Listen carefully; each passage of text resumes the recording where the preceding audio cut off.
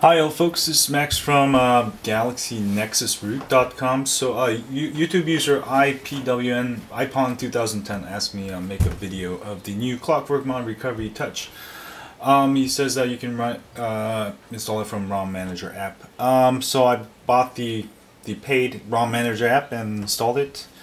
Um, it actually looks pretty cool. Um, it's the exact same thing. You can use the uh, buttons or you can use um, you can use the touch. By the way, wiping cache doesn't do anything to your phone other than clear the cache. That's, that's why I did it. Um, but it looks really cool. It's the same thing, but um, now it's touch, so it's a lot faster. You know, to mess with your buttons.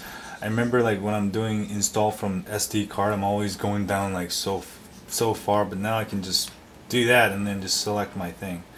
So that's kind of cool. Anyway, I just want to give you a short update. Um, if you want to get install this on your Galaxy Nexus, load up ROM Manager and you should be able to see it at the bottom. Um, Clockwork Mod Touch. So cool. Anyway, um, I'm gonna go reboot my phone and that was just a short overview. See y'all later. Subscribe. Hit that like button for me. Thanks. Bye.